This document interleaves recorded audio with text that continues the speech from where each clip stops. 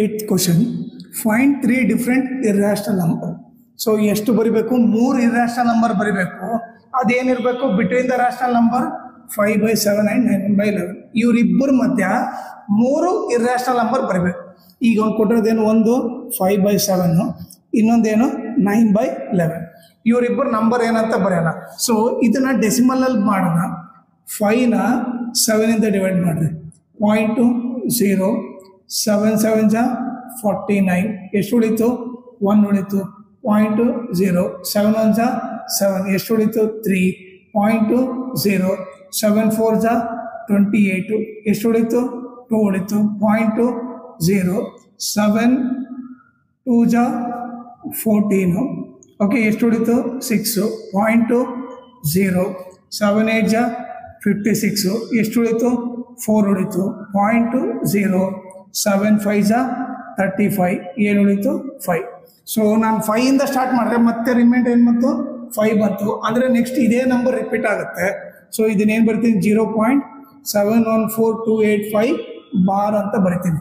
ಯಾಕಂದರೆ ಫೈಯಿಂದ ಸ್ಟಾರ್ಟ್ ಮಾಡಿದ್ರೆ ಮತ್ತೆ ಫೈವ್ ಬಂತಂದರೆ ಇದೇ ನಂಬರು ರಿಪೀಟ್ ಆಗುತ್ತೆ. ನೆಕ್ಸ್ಟ್ ಅದೇ ರೀತಿ ನೈನ್ ಬೈ ಲೆವೆನ್ ಇಲ್ಲಿ ಪರ್ಫಾರ್ಮ್ ಮಾಡೋಣ ಡಿವಿಡಿಷನ್ ನೈನ್ ಲೆವೆನಿಂದ ಡಿವೈಡ್ ಮಾಡಿರಿ. ಪಾಯಿಂಟು ಜೀರೋ ಲೆವೆನ್ ಏಟ್ ಜಾ?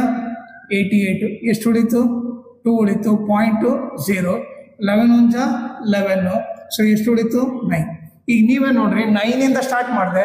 ರಿಮೈಂಡರ್ ಏನು ಉಳಿತು ಮತ್ತೆ ನೈನೇ ಉಳಿತು ಅಂದರೆ ಮತ್ತೆ ಇದೇ ರಿಪೀಟ್ ಆಗುತ್ತೆ. ಸೊ ಇದನ್ನೇನು ಬರಿಬೋದು? Zero point eight one bar ಅಂತ ಬರಿಬೋದು. ಓಕೆನಾ ಸೊ ಈಗ ಇವರಿಬ್ಬರ ಮಧ್ಯ, ಇವರಿಬ್ಬರ ಮಧ್ಯೆ ಏನು ಬರಿಬೇಕು ನಾನು? ಮೂರು ಇರ್ರಾಷನಲ್ ನಂಬರ್ ಬರಿಬೇಕು.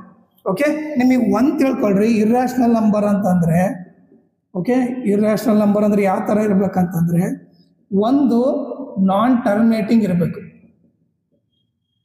ಓಕೆ ಇನ್ನೊಂದು ಬಂದ್ಬಿಟ್ಟು ನಾನ್ ರಿಪೀಟಿಂಗ್ ಇರಬೇಕು. ಸೊ ಹಂಗಿದ್ರೆ ನಾವು ಇರ್ರಾಷನಲ್ ನಂಬರ್ ಅಂತ ಕರಿತೀವಿ. ಓಕೆನಾ ನಾನ್ ಟರ್ಮಿನೇಟಿಂಗ್ ಇರಬೇಕು ನಾನ್ ರಿಪೀಟಿಂಗ್ ಇರಬೇಕು. ಇವ್ರಿಬ್ಬರು ಮತ್ತೆ ಬರಿಬೇಕು. ಈಗ ಸೆವೆನ್ ಒನ್ ಇದೆನಾ? ನಾನು ಸೆವೆನ್ ಟೂ ಇಂದ ಇವರಿಬ್ಬರ ಮಧ್ಯ ಜೀರೋ ಪಾಯಿಂಟ್ ಸೆವೆನ್ ಒನ್ ಇಂದ ಜೀರೋ ಪಾಯಿಂಟ್ ಏಯ್ಟ್ ಒನ್ ಮಧ್ಯ ಯಾವುದಾದ್ರೂ ನಂಬರ್ ಚೂಸ್ ಮಾಡಬೇಕು. ಸೊ ನಾನೇನು ಮಾಡ್ತೀನಿ? ಒಂದು ನಂಬರ್ ತೊಗೊಳ್ತೀನಿ ಜೀರೋ ಪಾಯಿಂಟ್ ಸೆವೆನ್ ಟು ಇವರಿಬ್ಬರ ಮಧ್ಯೆ ಬರುತ್ತಾ?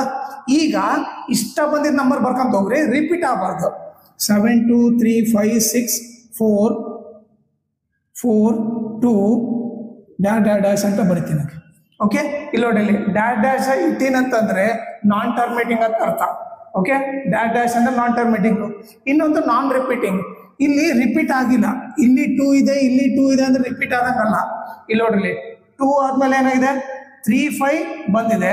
ಸೊ ನಾನು ಇಲ್ಲಿ ಏನು ಬರ್ತೀನಿ? ಟೂ ಸೆವೆನ್ ಬರ್ದ್ಬಿಟ್ರೆ, ಅವಾಗ ರಿಪೀಟ್ ಆಗಿಲ್ಲ ಅಂತ ಅರ್ಥ. ನೀವೇನು ನೋಡ್ರಿ?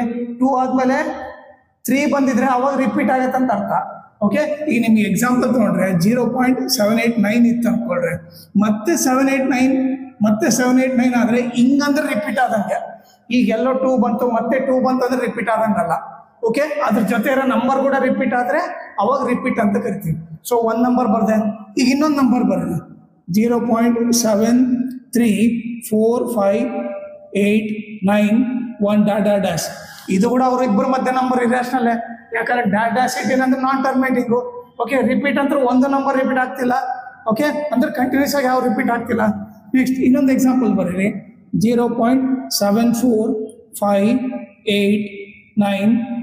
ಒನ್ ಡಾ ಡಾ ಡ್ಯಾಶ್ ಅಂತ ಬರೆದ್ರು.